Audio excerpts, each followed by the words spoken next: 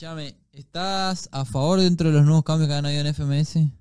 Sí, sí, sí, sí. ¿Sentís que ha, ha habido una especie de que le, le bajaron un toque el hype con todas las, las cosas que no... No, yo creo que el hype ya, ya venía bajando post, eh, post pandemia.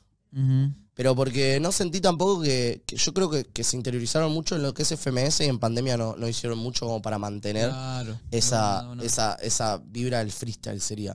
O esa llama, por así decirlo. Como que, pandemia bajó una banda, boludo. claro, ellos estaban esperando volver a FMS y punto. ¿Entendés? Y todo ese año que, que, que, que no se volvió a FMS, estuvieron quietos. No se hizo nada o no, no se planteó. Ni siquiera te hablaba de una competencia, ¿entendés? Cual- cualquier cosa con los pibes. Que, que en ese momento la Claro, gente estaba algo, esperando. que sea, claro. No, no, no creo que hayan hecho nada. Creo que se centraron mucho en, en FMS, en lo que es el nombre FMS. Ahora estás como parado de otro lado, de otra perspectiva, que es como ser host. Eh, es como no, es ser host de la FMS. ¿Cómo lo ves desde el otro lado vos? Necesitaba tomarme un año, eh, tipo cuando, cuando empecé a hostear fue porque dejé de competir. Necesitaba tomarme un tiempo fuera. O sea, yo me quería retirar realmente. Ah, sí. Sí, sí, sí, no quería competir más. Porque no lo estaba disfrutando. Claro. Habían cambiado muchas cosas en mi vida que no, no, no estaba pudiendo absorber de la mejor manera. Y no, no quería hacerlo más.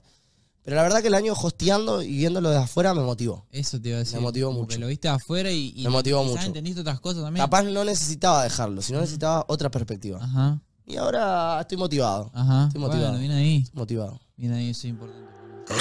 La movie, estamos pisteando con los flow de ya. Vamos escribiendo en el Uber, Porque en el barrio, las notas las sube, ya. Ando metido en la movie, ustedes tirando para ver si suben. Nosotros